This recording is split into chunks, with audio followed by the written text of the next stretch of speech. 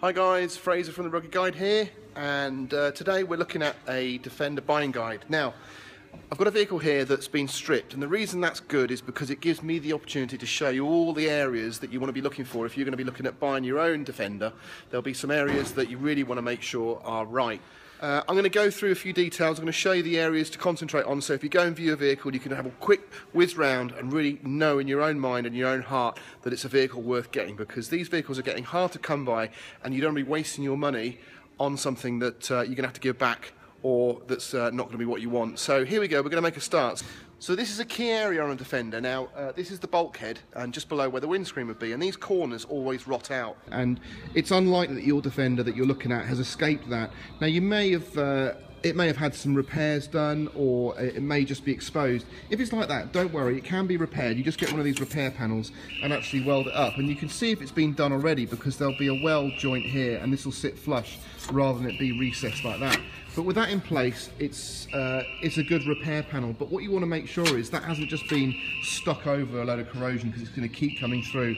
So if you can, go around the back, have a look and see if the corrosion's been dealt with from the back as well and uh, you'll have a better idea of the extent of the of the repair or of the damage itself or the corrosion. Another key area you're going to be wanting to look at is the chassis numbers. Now, on a Defender, you've got two areas. Uh, on later Defenders, you've also got a third area, but let's just focus on these first two. Now, you'll see here, we've actually got uh, a VIN plate. Now, that's really important. Make sure that it's not been tampered with, and you've got a chassis number that's printed on here and that needs to match the chassis number that's actually on the chassis. Now you'll be able to check that because underneath the vehicle, on the driver's side, or the right hand side if you like, on the chassis just here, it's actually stamped in. So make sure that's there. Now occasionally you'll see that there's a steering guard or something fitted and you won't be able to see it, but you might just be able to see the top of the letters, but always be wary if it's been covered up um, for a reason. And if it's, uh, if it's you know, a genuine seller, if you've looked at all the vehicle, that's the one thing that you want to be sure of. Don't be afraid to ask the seller to drop that steering guard so you can check the chassis number. It's really important. It'll be stamped on here, and I'll show you that in just a second so you've got an idea exactly where it is, and make sure it matches the one on the uh, servo plate of the brake, just on here. So looking at the front of the vehicle here, to check the chassis number, you'll be coming down here, going in, and reading it there you can just see it. If you need to get a little bit of dust off the floor, just wipe it on there, you'll be able to read the number better. And actually, if you take a picture of it with your phone and then zoom in, you'll get a better, it's much easier to check the number there than uh, try and read it off by your eye. So take a picture, make sure it's good, and also make sure it corresponds with the one that's on the VIN plate here. Now, if you've got a 300 TDI or later, you'll also find there'll be a little plate just in the windscreen and it's normally riveted onto this plate here.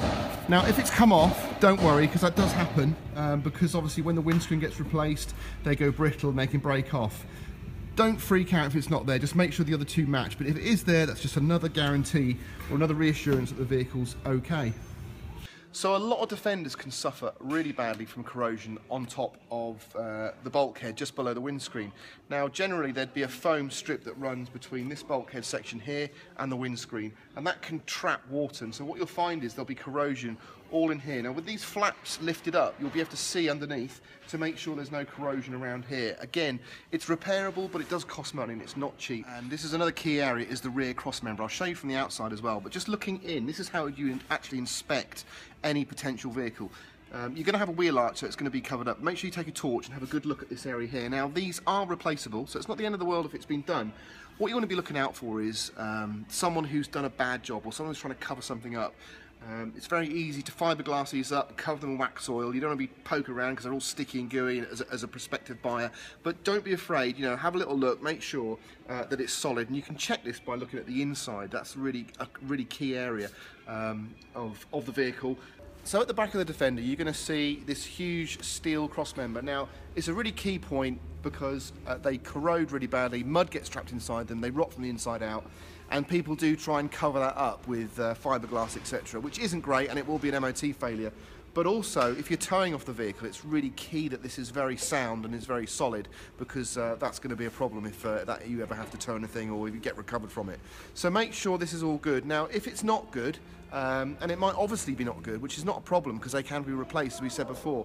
Um, you know, you can replace a third of the chassis from the back um, onwards, uh, and that includes the spring hangers and everything as one piece. But you know, you're going to be looking at about 450 quid for the part, and probably about 600 quid to have it all fitted. So you're looking at about a thousand pounds to have that all done. So just factor that into the price.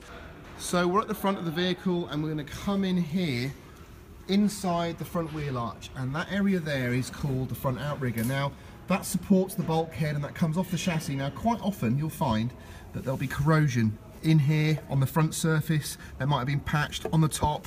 Uh, water tends to run down into this area and that is a suspect. Now again that can be cut off and re-welded on. You can have it patched um, but try and make sure it's sound try and make sure it's in good condition. If it's been welded just make sure it's had a, a decent job done.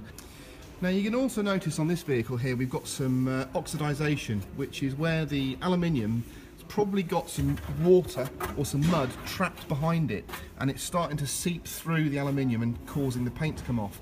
Now in real extreme cases there can be little perforations there um, and you do find them all over the vehicle. But again if they're rubbed down and treated um, it's, it's not too much of a problem. You can get around that. But um, if you've got holes they're very hard to because the aluminium panels are so thin they're very hard to actually uh, repair flush you know it's uh, you have to actually bond something to the back of the panel then you've got to fill the hole that was uh, created by rubbing it all down and it's not it's not pretty. And so that's why you'll see a lot of these vehicles especially with these sills have had checker plate fitted. And the higher the checker plate goes up the more they've been abused in mud the more uh, moisture's passed through the panels and the more problems you're going to have in the future. So if you can get one without checker plate that is the best so little dents like this in the, uh, the bulkhead are caused by the doors being opened and uh, catching the wind or the check straps not being in place and they're going to put little dents in there. Not Again, not a problem. You could live with that or you can just fill it and uh, smooth it off and they look fine. But um,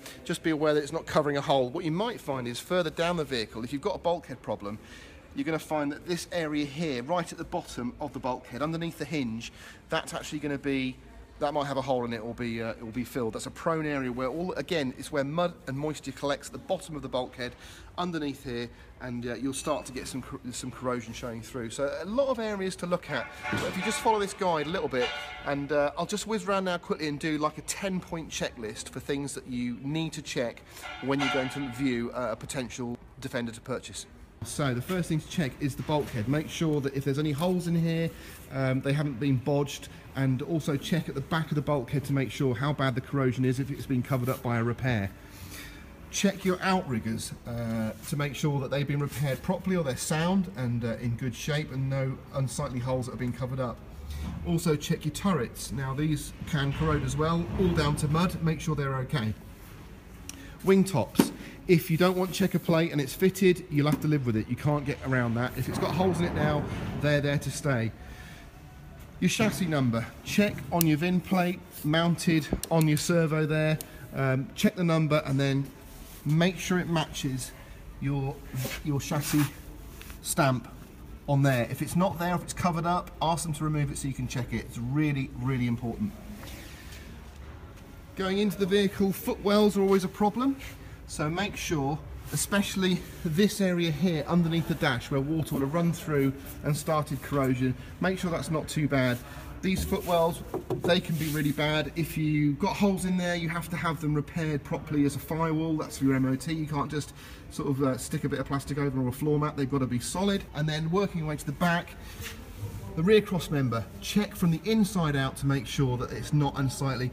You want to also check the corrosion on the inside of these mounts for the springs where the mud traps. If you've got mud on there, ask permission just to remove that mud with a screwdriver so you can check the integrity of the chassis. And then moving right to the back, always check the rear cross member for botched repairs or for a cover up uh, and make sure that if you're going to be towing it's all real solid and it's all real good. And then ultimately you can just do a quick check to make sure it's not had any severe knocks. They're all quite boxy these vehicles so make sure that you've got good lines along the vehicle and everything's sound and then you should be uh, good to go.